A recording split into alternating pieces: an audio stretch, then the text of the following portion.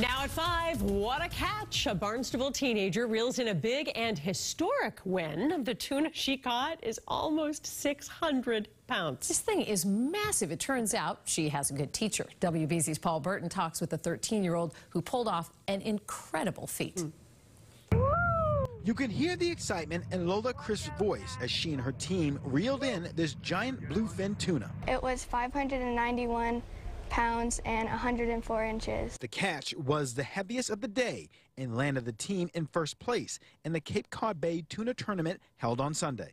I was very excited. And at the young age of 13, Lola is now the youngest person ever to win the Cape Cod Bay Tuna Tournament. Here's your lucky ride.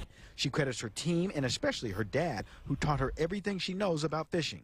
We have to have one person driving the boat and one person on the on the rod, and then once the fish um, comes up to the surface, we rig a harpoon. It was the perfect team, the perfect situation, super rough. You can see how much of a struggle it was to get the fish onto the boat.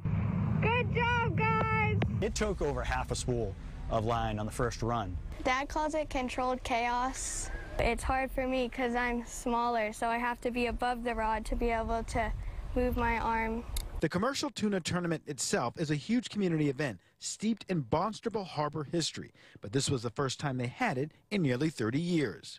We're bringing something back to the community that's historic. There were women in the 40s and 50s and 60s that were catching championship fish. It's amazing to see this kind of circle back with Lola and her team. It's the whole crew, and you can't do it without everyone. It was a good experience. I liked like working with friends and family. Lola says this whole experience has taught her a lot about teamwork and the importance of preparation. She says when she grows up, she hopes one day to become a marine biologist. You know what? I have a feeling she's going to do just that.